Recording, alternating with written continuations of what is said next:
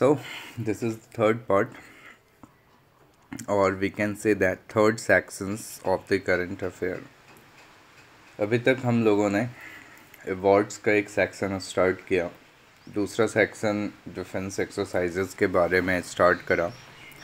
और तीसरा सेक्शन जो आज हम लोग कर रहे हैं वो है इंटरनेशनल एंड नेशनल समिट तो इसके बारे में कहाँ पर हुआ कब हुआ क्या थीम्स थे उससे रिलेटेड क्वेश्चंस एग्ज़ाम में रहते हैं।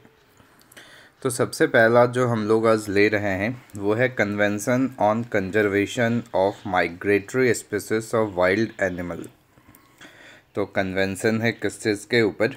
तो जो माइग्रेटरी स्पीसीज हैं, यानी जो अपने क्लाइमेट के हिसाब से रिक्वायरमेंट्स के हिसाब से एक जगह से दूसरे जगह जाते रहते हैं, उनसे रिलेटेड जो वर्ल्ड लीडर्स हैं, जो डिफरेंट डिफरेंट कंट्रीज़ के लोग हैं, वो सारे मीटिंग करते हैं और उससे रिलेटेड चीज़ों के ऊपर पूरी दुनिया का ध्यान दिलवाते हैं।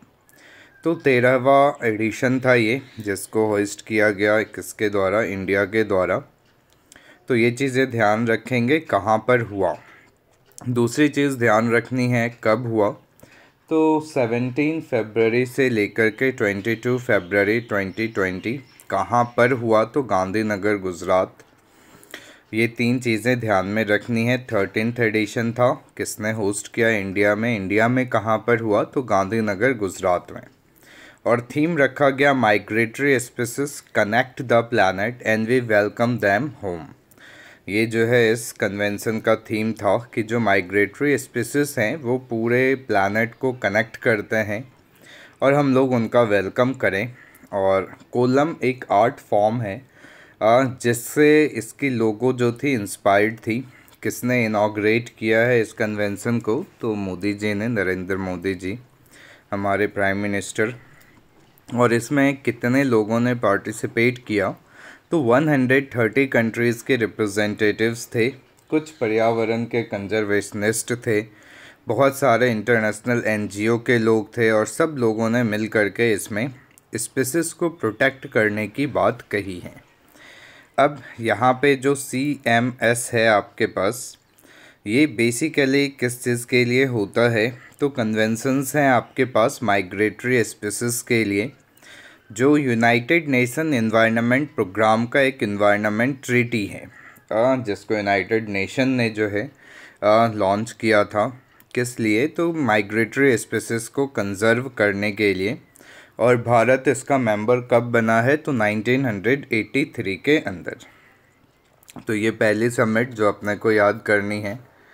दूसरी है आपके पास आई एफ़ ए डी यानी कि international fund for agricultural development ये भी इम्पोर्टेंट है आपके पास। आई एफ़ ए डी तो अगर एग्ज़ाम में क्वेश्चंस फुल फॉर्म के ऊपर भी रहे तो अपने को ध्यान रखना है आई एफ़ ए डी होता क्या है।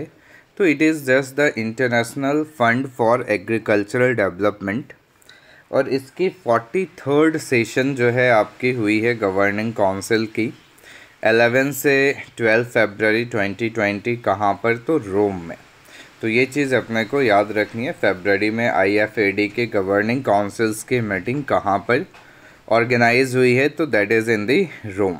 और इसका इन्वेस्टमेंट, इसका थीम क्या है? तो investing in sustainable food system to end the hunger, कि जो आपकी हंगर है, भूख है, पूरी दुनिया में बहुत ही बड़ा एक प्रॉब्लम है हंगरी की, हंगर की। कि जो है कि लोगों को प्रॉपर अमाउंट में खाना नहीं मिल पाता है तो पूरी दुनिया को 2030 तक 2030 तक हम लोगों को क्या करना है हंगर को ख़त्म करना है। अब अगर हम थोड़ा बहुत आईएफएडी के बारे में बात कर लें international fund for agriculture development की तो इसकी इस्टेब्लिशमेंट हुई थी 1974 के अंदर वर्ल्ड फ़ूड कॉन्फ्रेंस में। और बेसिकली ये जो है इंटरनेशनल फाइनेंशियल इंस्टीट्यूशंस है और यूनाइटेड नेशन एजेंसी जो बेस्ड है आपकी रोम में, उसका एक हिस्सा है, जिसके अंदर जो है किस तरीके से फ़ंड का जो है यूटिलाइज़ किया जाएगा एग्रीकल्चरल डेवलपमेंट के लिए तो उसके लिए मीटिंग्स की जाती है time to time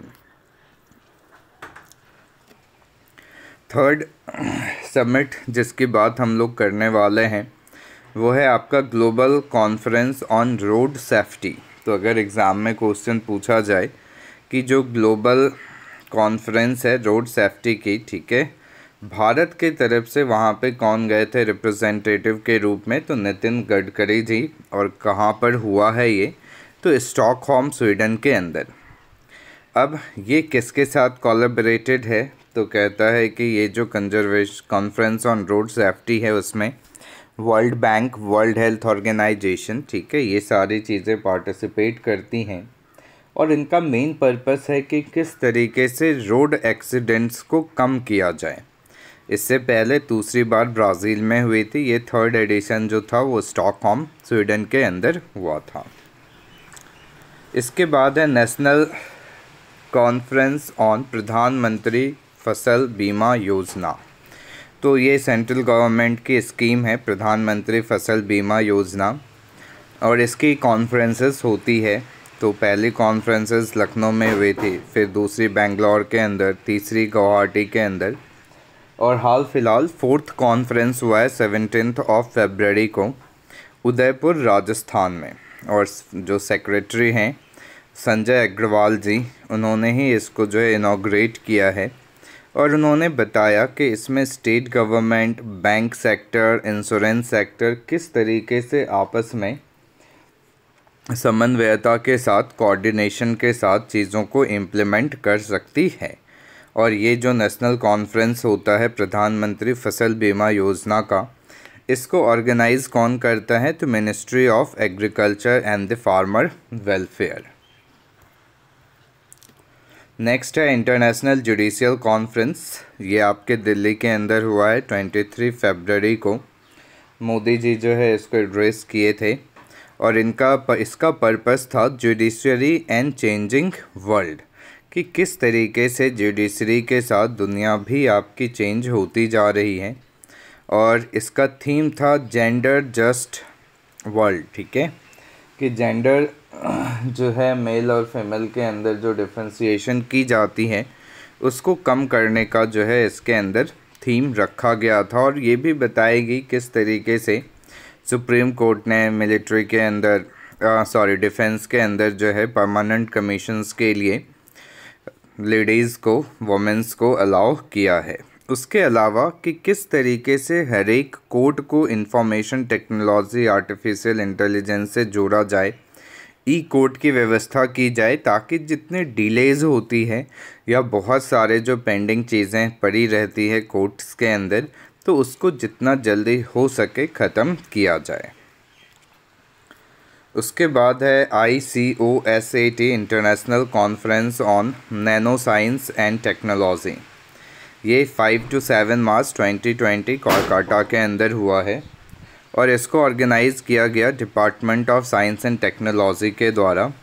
और एक इसका पर्पस है कि एक पोटेंशियल प्लेटफॉर्म जो है यंग रिसर्चर्स और स्टूडेंट्स को देश के अंदर या देश के बाहर जो भी हों, उनको एक प्लेटफॉर्म मिले जिसके वजह से वो नैनो टेक्नोलॉजी, बायोटेक्नोलॉजी, इन सारी चीज़ों को और ज़्यादा इन्हेंस कर सकें। इनके एप्लीकेशंस को और ज़्यादा से ज़्यादा लोगों तक पहुँचाया जा सके। इसके बाद एक और समिट है इंटरनेशनल डायबिटीज़ समिट फोर्थ जो है इंटरनेशनल डायबिटीज़ समिट 2020 के अंदर हुआ। कहाँ पर ऑर्गेनाइज़ किया गया? तो पुणे के अंदर चेल्लाराम डायबिटिक इंस्टीट्यूट है, जिसके चीफ गेस्ट थे डॉक्टर माधुरी कानितकर। तीन दिन की समिट थी, जिसके अंदर प्रोबेबल सॉल्यूशन ऑफ़ डायबिटीज़ के ऊपर जो है डिस्कशंस और रिसर्च पेपर्स जो है डॉक्टर्स के द्वारा पेश किए गए और उनके ऊपर डिस्कशंस हुआ। लास्ट अपना आज का है विंग्स इंडिया 2020 ये इंटरनेशनल कॉन्फ्रेंस और एग्जीबिशन होता है। किसके ऊपर? तो सिविल एविएशन सेक्टर्स के अंदर। 12 से 15 मार्च 2020 12 टू 15 मार्च 2020 ये आपका होता है ऑर्गेनाइज हुआ। बेगम पेट एयरपोर्ट हैदराबाद के अंदर। और इसको ऑर्गेनाइज़ करते हैं ministry of civil aviation and airport authority of India. और उसके अलावा इनके साथ कोलोबरेटेड फॉर्म में होते हैं आपके federation of Indian chambers of commerce and industry FICCI तो विंग्स इंडिया ट्वेंटी ट्वेंटी ध्यान रखेंगे हम लोग। तो ये सारे कुछ समिट्स हैं जो आपको याद करने हैं। थैंक यू कल के करंट अफेयर्स में हम लोग गवर्नमेंट्स के कुछ ऐप्स पोर्टल पॉलिसी और स्कीम्स के बारे में पढ़ेंगे। Thank you